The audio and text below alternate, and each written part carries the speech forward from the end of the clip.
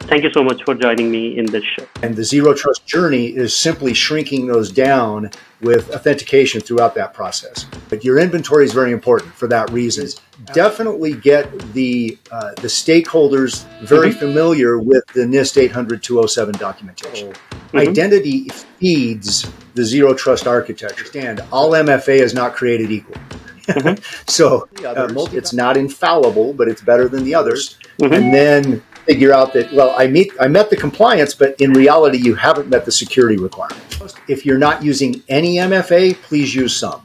That's that's the first step. Hi everyone. Thanks for tuning into our scale to zero show. I'm purushottam co-founder and cto of Cloudanix scale to zero is a forum where we collect questions from curious security professionals and we invite security experts to learn about their journey and get these security questions answered. Our goal is to build a community where we learn about security together and leave no security questions unanswered. With that, let's get started.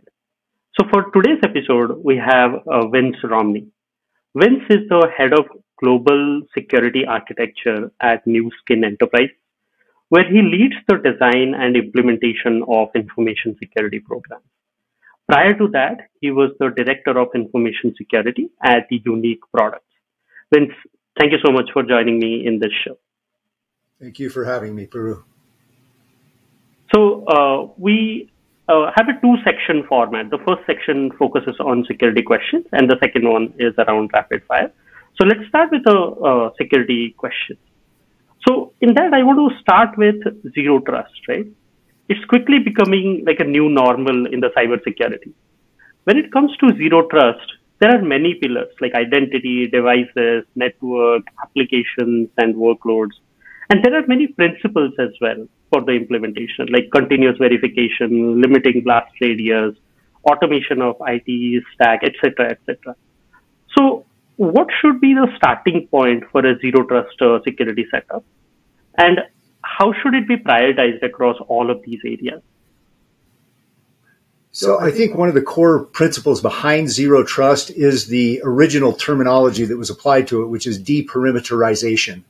And uh, when a, when an entity looks at taking the journey towards zero trust, one of the first things they have to do is really evaluate and drew, uh, uh, draw down the first CIS benchmarks one and two, which okay. is the inventory.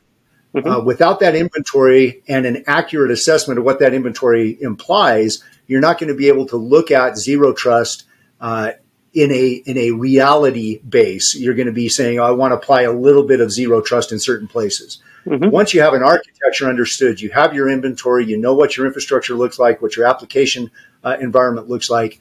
Then you can start that journey towards zero trust by looking at where you currently have uh, applied perimeters. Mm-hmm. And uh, those those trust perimeters that bring into an implicit trust zone are generally very wide. Mm-hmm. And the zero trust journey is simply shrinking those down with authentication throughout that process. So I think CIS benchmark one and two uh, mm-hmm. are your best starts uh, because that, now you have somewhere to to lay the groundwork and understand what your baseline is. Okay. So understanding the inventory and CIS benchmark one and two are the key uh, starting points. Sure. Okay. That that's lovely. So mm, with that information, uh, most of the times, you know, even though you have all the information, implementation is easier uh, um, said than done, right? So for organizations Certainly. implementing zero trust, there can be many challenges like additional cost impact or complexity of the setup or maintenance of the overall security setup as well, right? So for a cost uh, sensitive organization, let's say mid-size organization, how should they approach tackling these challenges? Well, I think uh, any organization is cost sensitive, especially in today's world, regardless of size. But uh, that inventory, going back to that, allows you to understand what assets you currently have. So let's say you're an Office 365 group. Well, mm-hmm. are you actually leveraging all of the things within Office 365 that apply to zero trust. So you have identity providers, you know, so you've got your Azure uh, Active Directory or Active Directory on prem. Uh, mm-hmm. is that being leveraged appropriately to provide authentication uh, or identity for authentication throughout the ecosystem. Uh, there's a lot of tooling within your just Office 365 toolkit that can allow you to tighten things up and reduce the amount of uh, uh, broad perimeter that's applied in your organization. So I hate to fall back to that same comment, but your inventory is very important for that reason. As a cost sensitive company, the other thing I would say is definitely get the uh, the stakeholders that will be making decisions very mm-hmm. familiar with the NIST 800 207 documentation. That documentation is the basis for uh, you know NIST uh, uh, thoughts and approach on zero trust. It's the foundational document for zero trust. So become very familiar with that document and how it applies. And as you look at vendors, mm-hmm. Uh, because honestly, every vendor says they're zero trust now. Uh, look at that vendor through the eyes of 800 207 and look at your diagrams in there and understand where that vendor fits because that vendor may be claiming that they are zero trust. Mm-hmm. You want that journey towards zero trust. Make sure you understand where they fit and what function they hold within that. Okay. Uh, that, I mean, that makes a lot of sense, right? Like having understanding of the inventory, understanding the architecture, and sort of mapping them to the NIST framework to see whether whatever the vendors are saying, whether they are accurate to the zero trust philosophy or not right? Right. And you, you touched on one of the core components of uh, zero trust, right? The identity. And mm-hmm. identity, not just for zero trust, even for um, information security, it sort of holds all the aspects of the organization together, right? So we received a question from a security leader in the healthcare uh, setup. Uh, like organizations, uh, mm, like how should they protect access to the data uh, securely to their employees, especially in today's world where remote is becoming normal, right? So in that sure. type of a setup, how should they protect access to the data uh, and uh, uh also how should they ensure that the data is protected at the same time? So I think the uh, falling into say the NIST 800 207 model, mm-hmm. identity feeds the zero trust architecture. So mm-hmm. it in, in and of itself is not zero trust architecture. It is a, a feeder or a provider to the policy decision point, uh, policy enforcement point, that model. So you've got a, uh, an, a policy engine that mm-hmm. would drive policy. You have a policy administrator; those become the policy decision point, and then you have the policy enforcement point, and uh, that's in the control plane. So mm-hmm a, a, an entity looking to use identity as a key part of that, first off, needs to determine that they're using the principles applied to identity 1st mm-hmm. Is it truly a least privilege model? Now, least privilege is a, a you know commonly used term and understood across the industry. But if you look at what uh, what zero trust is, it's the implementation of least privilege throughout an ecosystem. So if we if we take identity and this healthcare provider is looking at it, I have an identity provider. Now, how have you broken down that those identity into functional roles so that you can break those roles down and and enforce those roles with a policy? And I, I you know backing up to that I did. Do you even have the capacity at the control plane to enforce that? If you don't, mm-hmm. that's one of the first sets of tooling you need to go investigate. Is look at how you would enforce your policies uh, that apply to those roles that are fed by the identity. Makes sense. So defining the policies and then enforcing the policies of least privilege across your tech stack, right? Across your architecture. Um, right.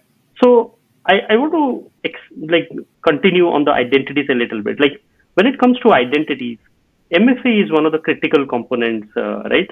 And uh, there are many ways to set up uh, MFA. Like yeah, there can be app based, uh, hardware device based, biometric. Like there are many channels coming up, right? So there are and there are pros and cons to all of these. So what is your recommendation to organizations who are trying to set it up properly, and how should they ensure that they are following the best practices of uh, these privileges? So uh, you hit on a very important point to understand. All MFA is not created equal. Mm-hmm. so uh, multi-factor authentication is uh, widely applied in a various you know various models. So you've got mm-hmm. the the original was just an SMS text, right?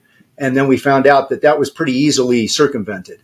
And so then it moved to you know say just your email. Well, again, compromise email, it's now circumventable.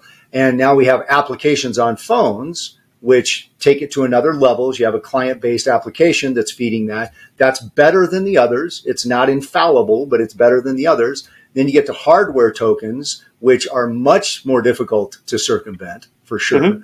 Uh, and, and then it breaks down into what factors are we dealing with? And in the modern world, most of what we're dealing with is something you have and something you know.